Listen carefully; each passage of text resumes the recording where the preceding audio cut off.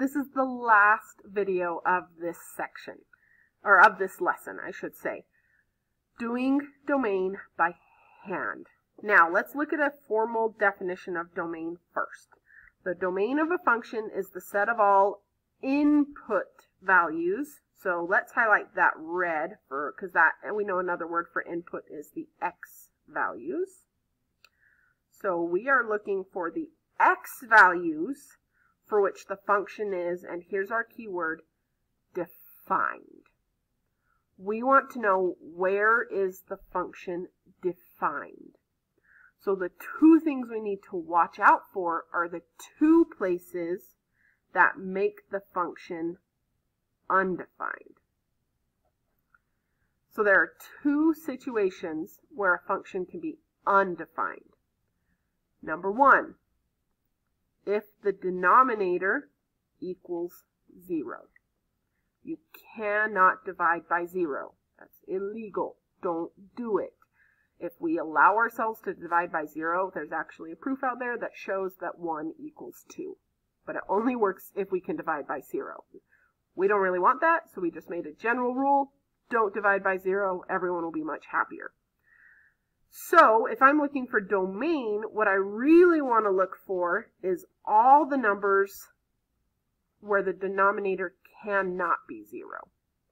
Because if the denominator is not 0, then everything else works.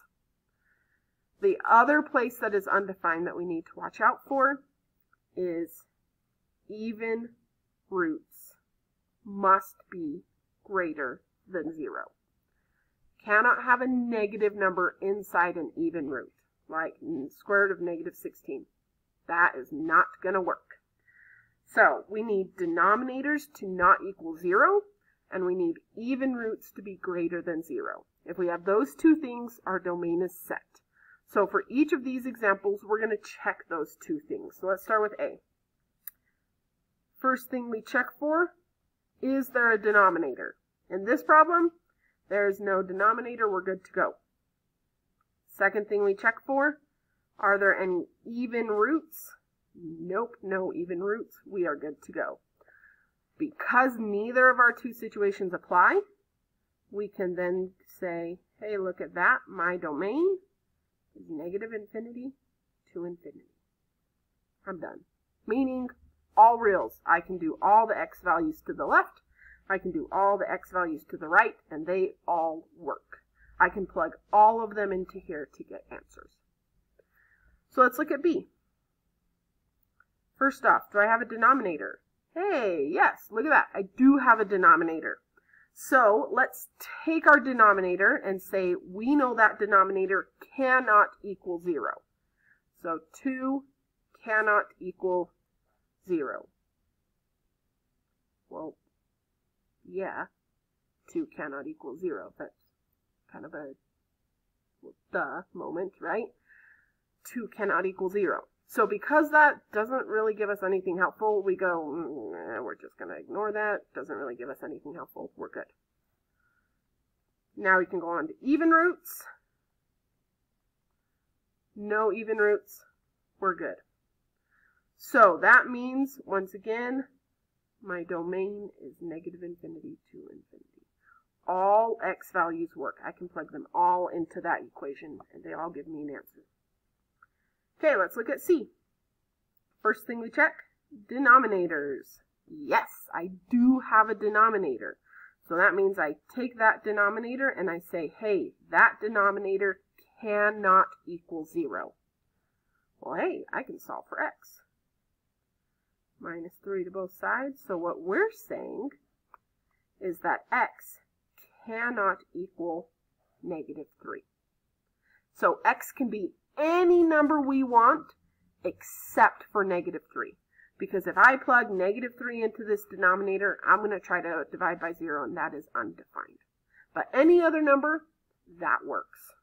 Because we check here, any even roots? Nope, none. So for my domain, I need a way of saying I can plug in any x values except for negative 3. Negative 3 is the only one that doesn't work. x cannot be negative 3. So what I want to say is everything, so from negative infinity to infinity, except for the number 3. Now that means I could point 1. I could plug in 3.01. I can plug in 3.00001. That works. I just can't plug in 3. So another way of saying that is we just can't include 3. We can include barely to the left of 3. We can include barely to the right of 3, but we cannot include 3. The reason I say it like that is we have a math symbol that says not include. We talked about it in our earlier videos. If I do not want to include 3, I put a parenthesis on it. Now I'm going to do this fancy union thing, and then I want to go from 3 up to infinity. So basically this is saying I want from negative infinity up to infinity. I want all the numbers except I do not want to include 3. That's what we're saying. We want to go from negative infinity up to 3 and from 3 to infinity. But because these are parentheses, I do not want to include 3. So hopefully that's enough about denominators. Let's look at D. Denominator, not happening. Even roots, yes.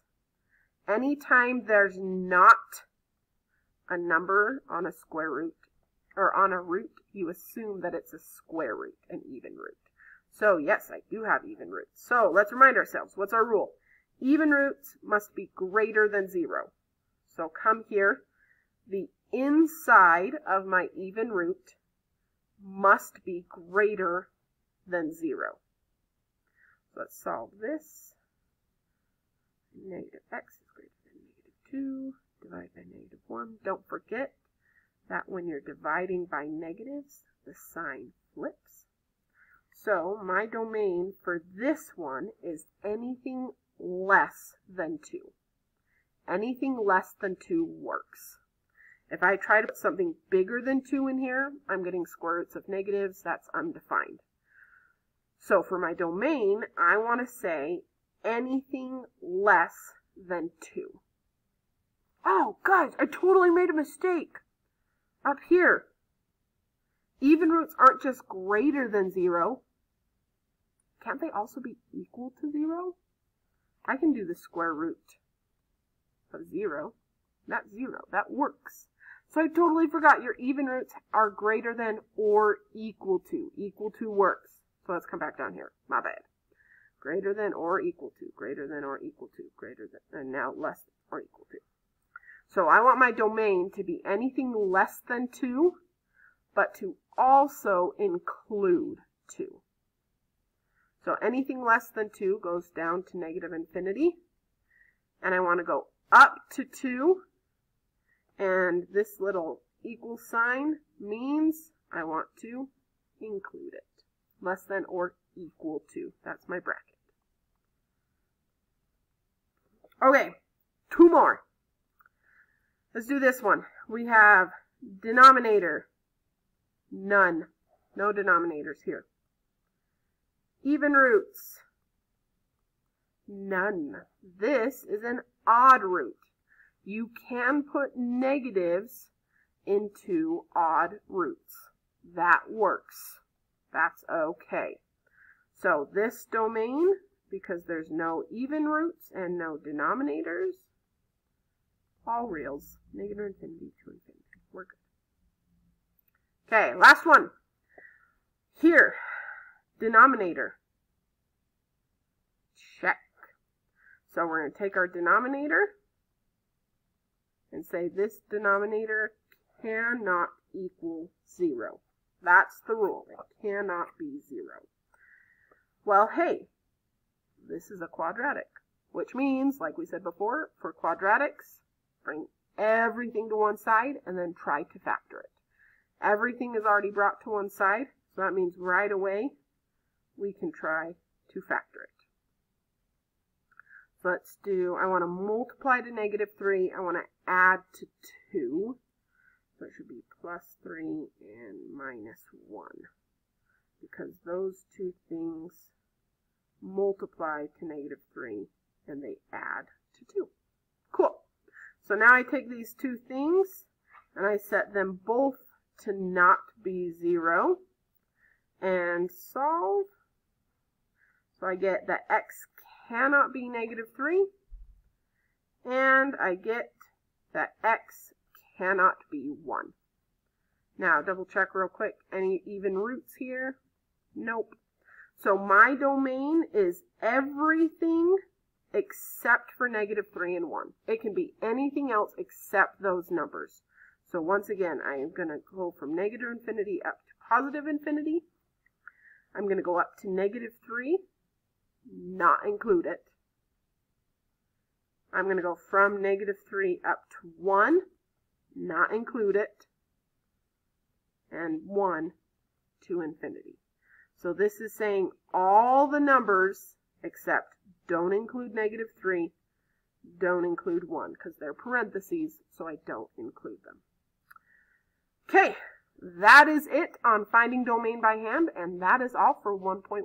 Congratulations on finishing your first lesson of 1050.